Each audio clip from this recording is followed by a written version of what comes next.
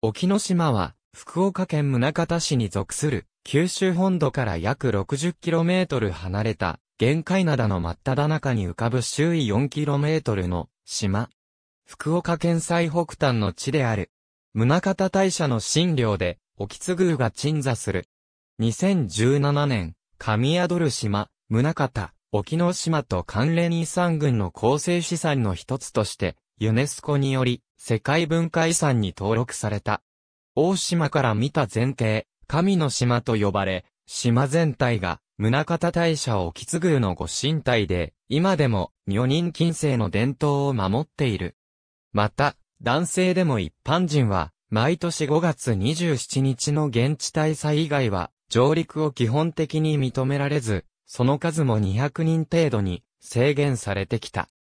世界遺産登録に際して、島への接近、上陸対策の強化をユネスコから要請されたため、2018年からは研究者らを除く一般人の上陸は全面禁止とすることを、宗像大社が2017年7月に決定した。山の中原には、宗像大社を継ぐ社殿があり、宗像三女神の田心姫神を祀っている。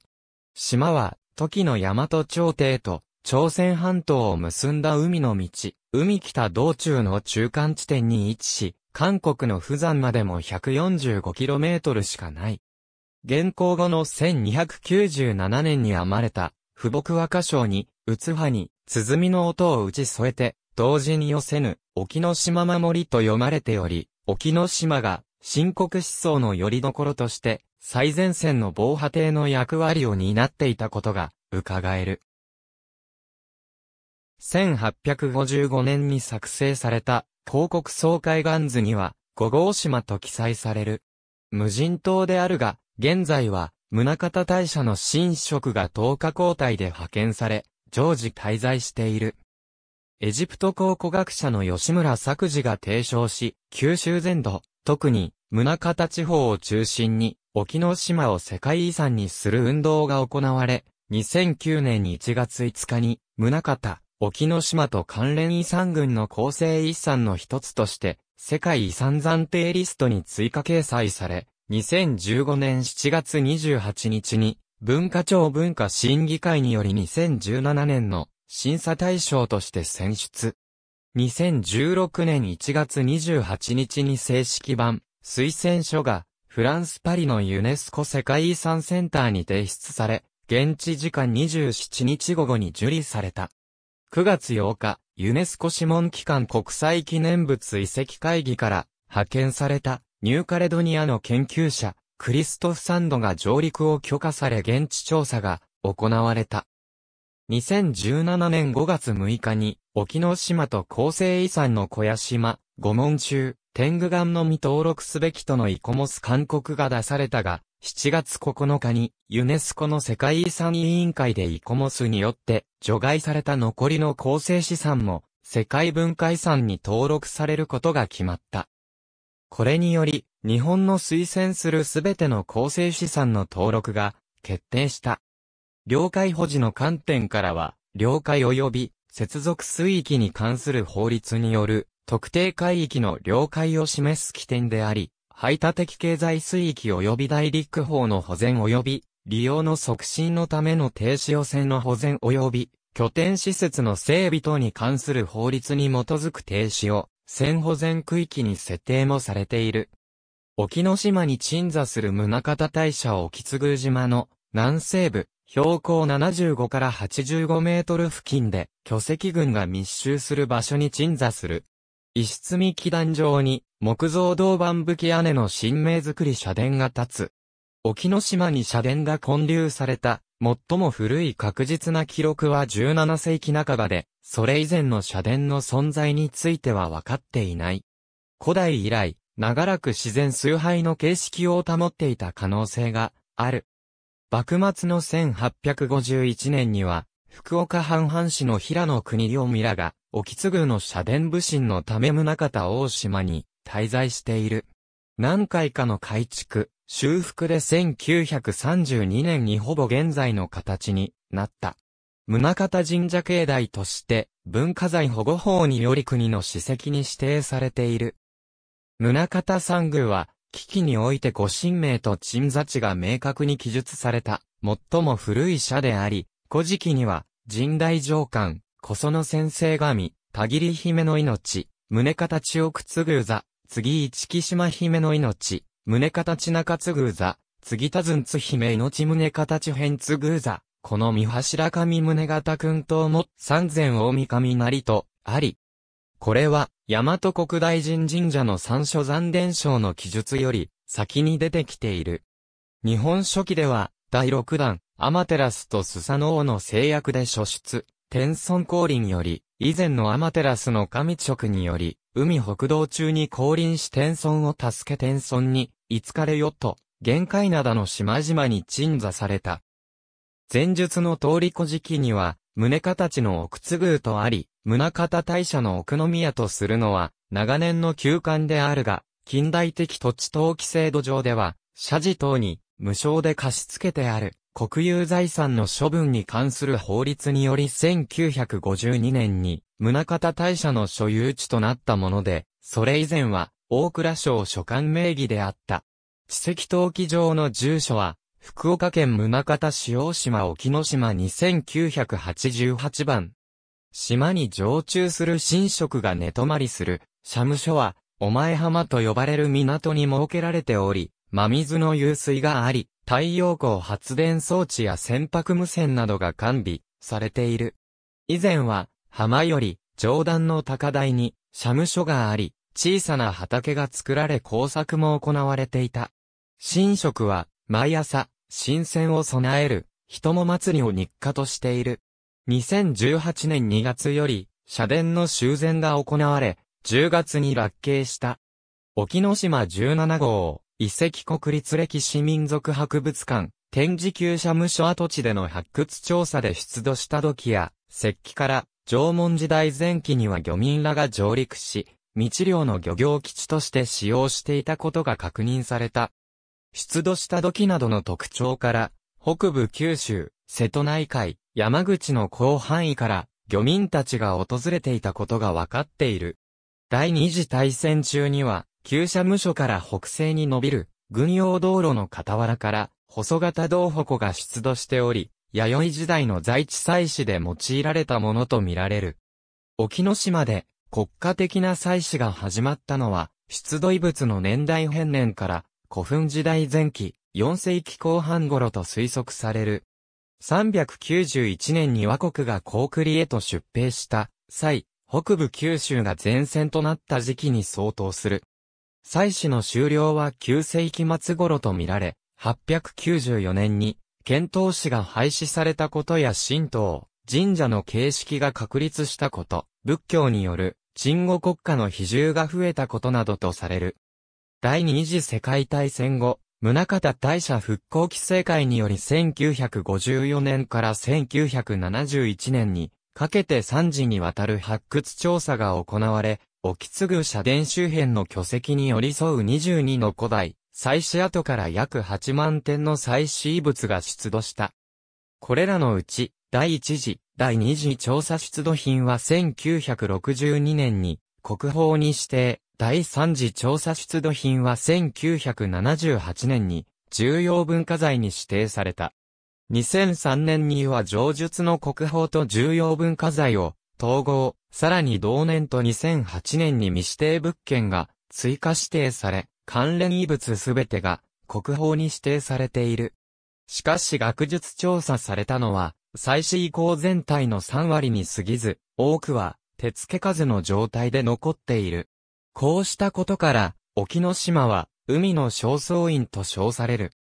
7.8号以降がある D 号巨石沖ノ島の祭祀以降の特徴は、高古遺跡ながら一部は埋蔵文化財化しておらず、遺構や遺物が千年以上も地表に露出したまま、荒らされずに残されている点にある。沖津宮が立つ島の中原に12個の巨石と無数の岩が散乱する中に点在する。正倉院にも収められている、シルクロードを介してもたらされた、ペルシア産、ガラス湾など地方豪族では、入手困難なものが多数含まれていることから、大和政権による国家的な祭祀が行われていたと推測され、古代における沖ノ島の重要性を物語っている。位置関係と異物変年から4つの時期に区分される。4世紀後半から5世紀にかけての頑丈祭祀、巨石の上で祭祀を行ったもので、三角円神獣教などの銅鏡が見つかっており、宗方氏と関連がある、艶崎古墳群の副葬品と共通するものもある、16.17-18.1921号、以降5世紀後半から7世紀にかけての岩影祭祀、巨石の岩影で祭祀を行ったもので、白木のと、慶州の大量円応募から出土したものと告示する、金星指輪など、朝鮮半島由来の遺物が多い、4.67.89.11.12.13.15.22.235以降、4号は、沖津宮社殿裏にあり、洞穴状をなすことから、お金蔵とも呼ばれてきた。7世紀後半から8世紀前半にかけての藩、岩影、藩露天祭祀、岩影に接する平場で祭祀を行ったもので、東山祭など、中国由来の遺物が見られる、520号以降、第三次調査で14号は20号と同一の遺跡であると判明し、現在では、欠番扱い8世紀から9世紀末にかけての露天祭祀、岩場から離れた平地で祭祀を行ったもので、遺物は、活石製型白類と呼ばれる人や馬に似せた、祭祀専用の石製品などになり、国内生産品が主体になる。1.23号以降、3号は、沖津宮のすぐ脇に位置する。また、1号は、移行軍の入り口部に位置し周辺では10から15世紀にかけての土器皿や再銭と見られる中世の戦火も見つかっており、古代祭祀が廃れた後も信仰の対象としては継続していたことが確認されている。この失われた4世紀と呼ばれる時代からの沖ノ島祭祀以は日本の国家祭祀の起源、神道考古学における原始神道の源流であると国学院大学の岡田翔司、笹生守教授や九州大学の西谷正教授などが指摘している。根拠は、伊勢神宮で最も古い9世紀の高大神宮儀式帳に、祭祀の方法などが告示していること、または封建品が同一であることなどが挙げられている。祭祀空間が時代とともに遷移したのは、徐々に大人数が参加する大規模なものへと発展したことで、より広い場所を確保する必要性が生じたためと考えられている。8世紀後半から9世紀には、神仏集合が起こり、宗方大社でも度胸が行われた事例が見られるが、古代の沖ノ島祭祀に関しては、仏教的要素は見られず、露天祭祀以降でのひな形製品は、人技官による律令祭祀の現れとされる。発掘調査での遺物回収は頑丈及び地表に露出していたものの表層回収とトレンチ調査で掘削した範囲内で行われたのみのため、岩陰及び露天採取遺物の多くは現在でもそのまま島内に残されており、その後不食度に渦漏れたものや風で氷土が流され、新たに地表に露出した遺物もある。回収された遺物の多くは、宗方大社に併設された新宝館で見ることができるほか、東京の出光美術館も一部収蔵し、不定期だが陳列することがあり、千葉県の国立歴史民族博物館には、祭祀遺跡や封建品のレプリカが展示されている。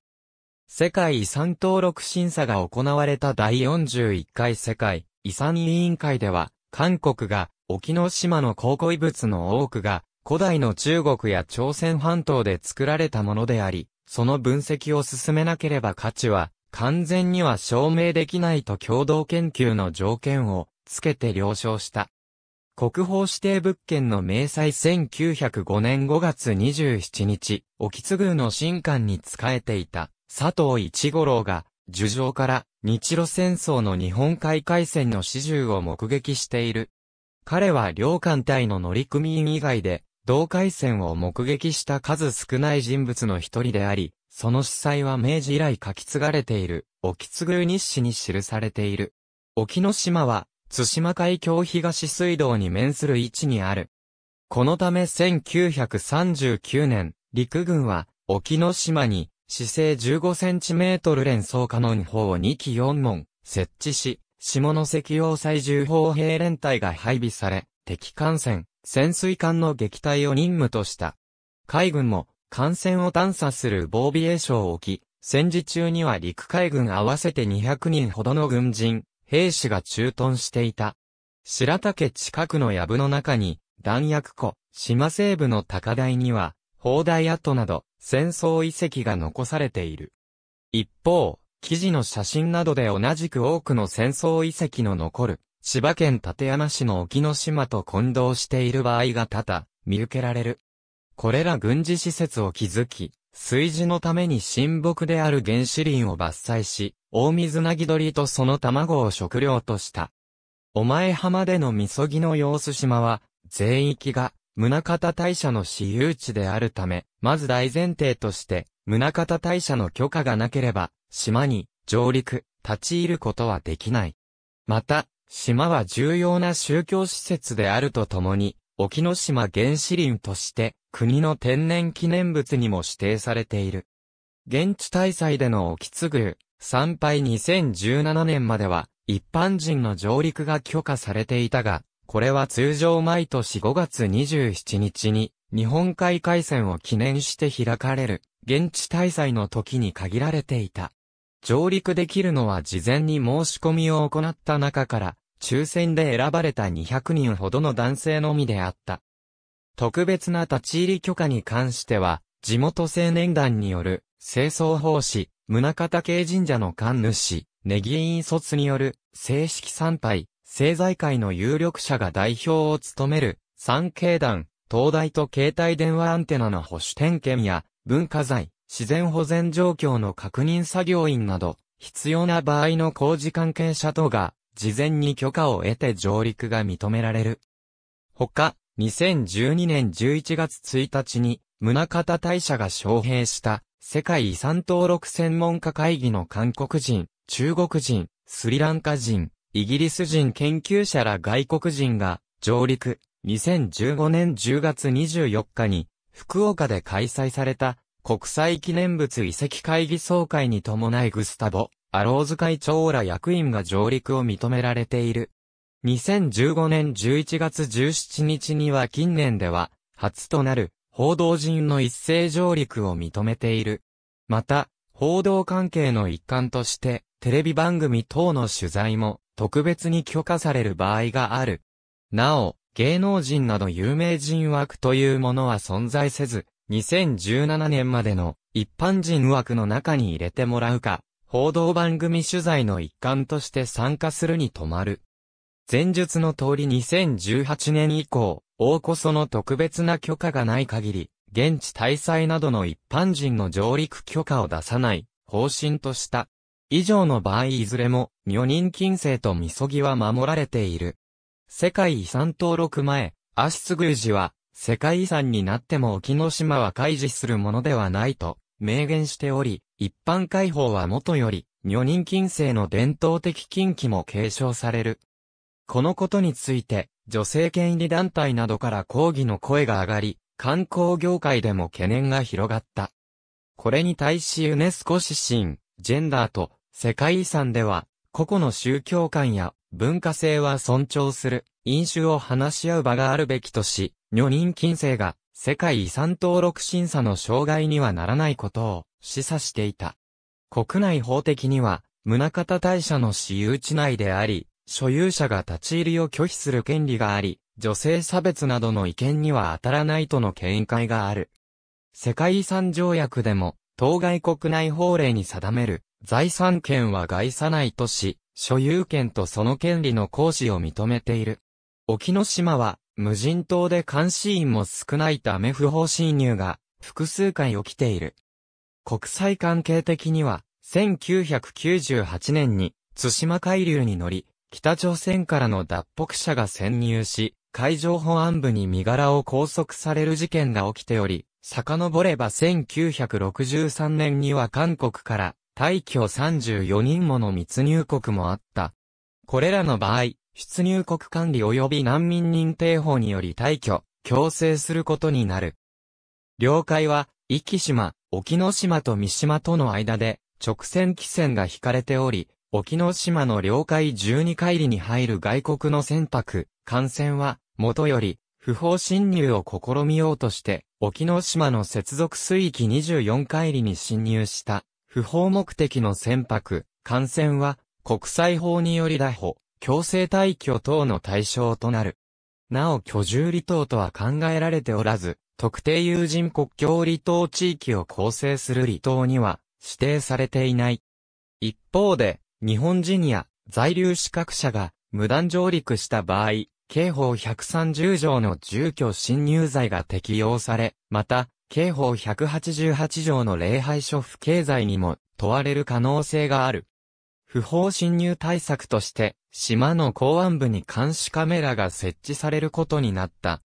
なお、島周囲の岩礁への磯釣り目的の上陸は容認されてきたが、2016年より、福岡県と宗像市、宗像大社、漁業者が協議を重ね、その結果、島への接近は 2km までとすることで、ほぼ合意した。しかし、2km 以内の海域に入った日本赤線を取り締まる法律や条例はない。宗像大社に許可されたものの上陸はすべて神事の一環として行われ、現地大祭の前日に、筑前大島の中津宮に参拝し、沖津宮法産会費に万円を支払い、島内に分縮。大祭当日は、早朝より、筑前大島船籍の釣り船などに、分乗、2時間弱で島に到着する。現地に着いた後は、お前浜でまず全裸で海に入って、みそぎをしなくてはならない。島全体が国の天然記念物であるため、島内の植物や岩石の収集は禁止されている。ただし、島内の湧き水のみは例外とされている。島での滞在は2時間ほどの制限時間がある。大祭日、女性は大島にある沖継ぐ養廃所から沖ノ島を養廃する。沖ノ島は第4種避難港指定を受けていることから、航天時などに付近を航行中の船が避難できる、要港湾設備が整備されている。そうした際に寄港して上陸する場合には、社務所に許可を取って、みそぎをすることが必要である。前述のように2018年から現地対祭時であっても一般人の入島は原則、禁止される。2018年2月17日に開催されたシンポジウムにおいて、足津高雪宮司は、人が入らなくなった環境を数年ごとに、報道関係者に上陸してもらい広く伝えてもらうことを考えているとの方針を表明した。宗像市は、九州本土側の市内にある海の道宗像間で沖ノ島の三次元映像を放映し、実際の上陸に変えて、島の様子を見られる体験を提供している。公職選挙法施行規則第16条に規定された、期日前投票または、不在者投票を行うことができる地域として、大島に、988番地からに、990番地までの地域が指定されている。このため、宗像市選挙管理委員会の期日前、投票宣誓書には、期日前投票を行う自由の選択肢に、宗像市沖ノ島が含まれている。島全体がご神体であるとされ、年1回のみの上陸、女人禁制、みそぎなどの禁忌から神聖性が強調される沖ノ島だが、江戸時代には、福岡藩が先森を置いていた。これは新域を守る目的ではなく、江戸幕府の鎖国政策に伴う外国船の監視任務であった。島での見聞については、島の別称でもある、普賢様として、一切公害が許されないとされるが、江戸時代に入り貝原駅検は先森を務めた者からの聞き取りを行っており、筑前国族風土記に、島の詳細な様子を記している。ただし、江戸時代より以前は文書への記述すらはばかりがあったとの説もある。なお、現代でも、普賢様の範囲は、鳥居から先の境内であり、船着港周辺や島の外房は特に公開など、止められてはいない。島内の一層一木一石たりとも持ち帰ることも許されないが、筑前の大名、黒田長政は、祭祀遺物の近藤製食器などを家臣に命じ、取り寄せさせており、その後たたりがあったとして遺物は島に戻された。また、先森は島土産と称し、山中から薬草を持ち帰っている。島内での殺生は禁じられているが、先森や水フラは魚介を食し、直来の後は、酒盛りも行われていた。当然ながら、先森は、多数の武具を持ち込んでいた。沖ノ島には、筑前大島の漁師も訪れ、みそぎをして上陸していた。山中では、唾を吐かない、用を足さない、意味言葉を口にしないといった不条を避ける行いをするが、山と一外には、生族の境界があり、島全体を神聖化していたわけではない。地石図には、島の東岸に2989番と2990番が、振られ、漁業協同組合名義になっており、渓流設備や船小屋が設けられていた。レジャーとしての釣りが盛んになった現代では、沖ノ島周辺の海に漁礁を設けるため、多くの配線を沈めている。なお、古くから地元漁民による漁業や釣りは、海洋神である宗方神からの授かり物という考え方により行われ、漁師は魚を宗方社へ奉納していた。また、頂上には沖ノ島灯台があり、灯台に携帯電話のアンテナも併設されている。もっとも、神社以外の人工物は、灯台と避難港としての船着き場の岸壁や、擁壁護岸、渓流施設、神職を含む関係者の居住家屋など、限定的である。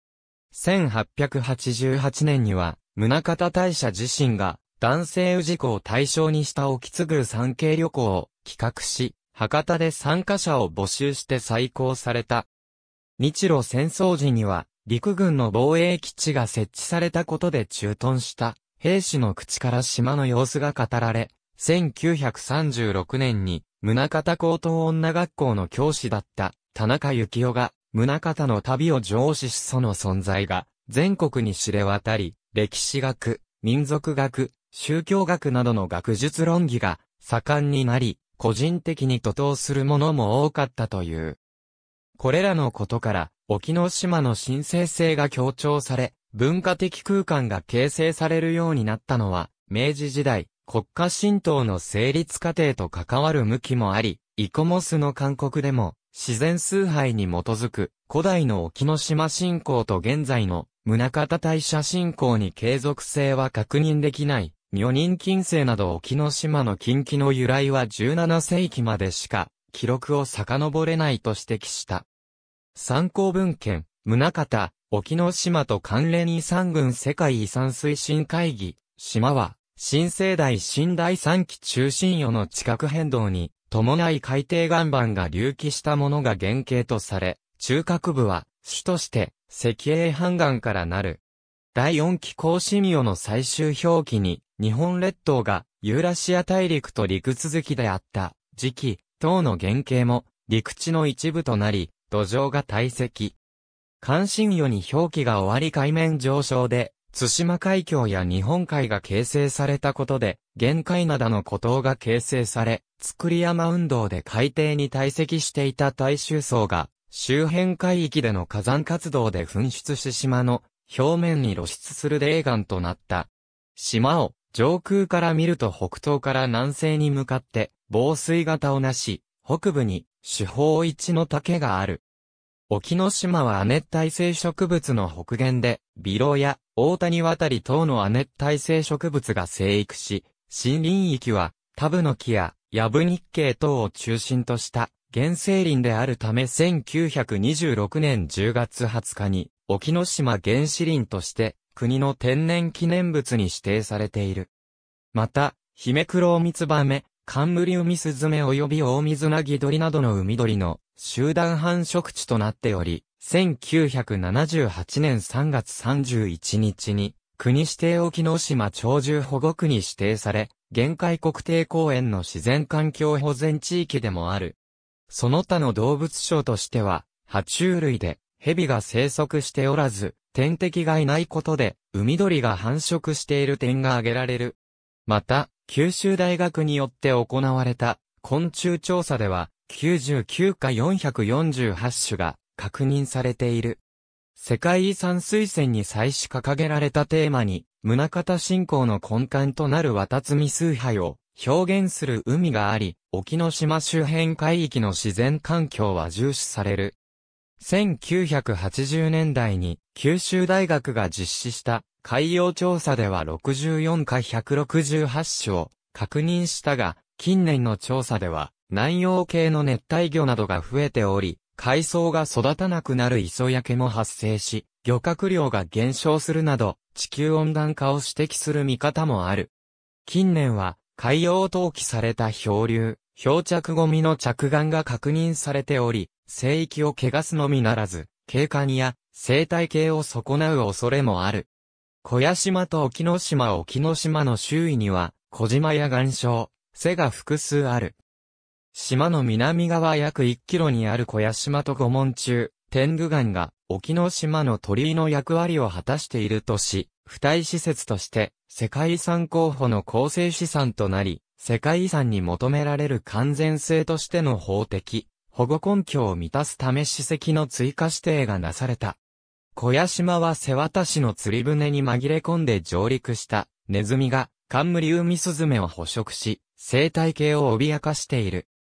沖ノ島の北岸から20から30メートルにあるノリゼは海洋管理のための離島の保全、管理のあり方に関する基本方針に基づき、排他的経済水域の外縁を根拠づける、離島として2011年に行政財産化され、翌年にノリゼが正式な名称として、地図、海図に記載されることになった。